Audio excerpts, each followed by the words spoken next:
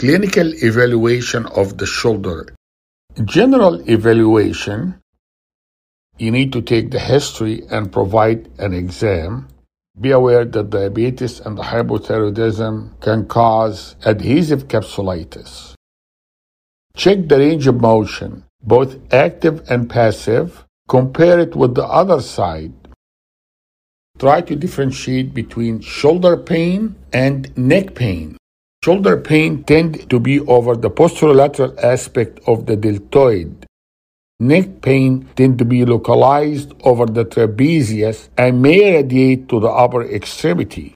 Combination of shoulder pain and neck pain pathology is not uncommon.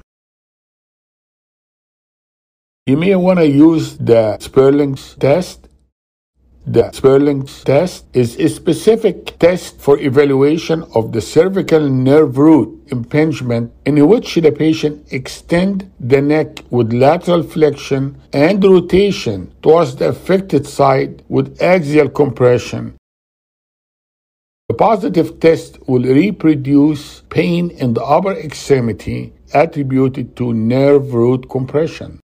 So you can see extension of the neck, lateral flexion of the neck, rotation of the neck, and then some axial compression.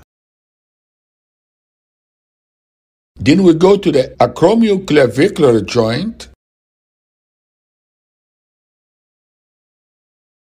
And here is the area of the acromioclavicular joint. We use certain tests like cross-body adduction test. The patient will be standing or sitting upright with the arm adducted across the body.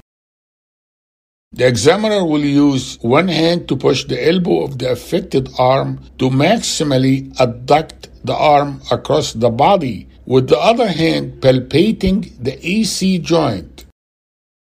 Positive findings when the patient experiences pain and tenderness at the AC joint, that means there is an AC joint pathology. Now we go to the subacromial impingement cuff pathology. There are multiple tests. The test and Hawkins test for impingement. The drop arm test for rotator cuff tear.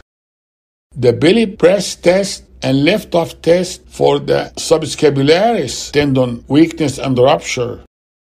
The adduction external rotation test for the infraspinatus muscle and the Jobe's test for the supraspinatus muscle.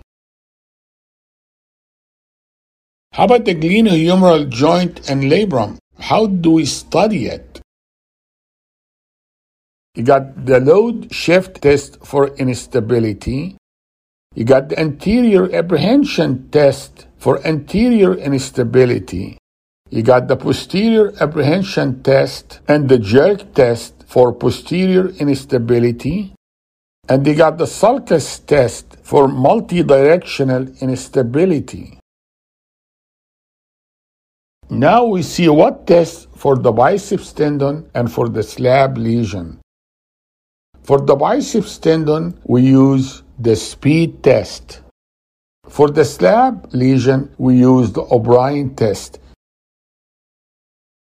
Thank you very much. I hope that was helpful.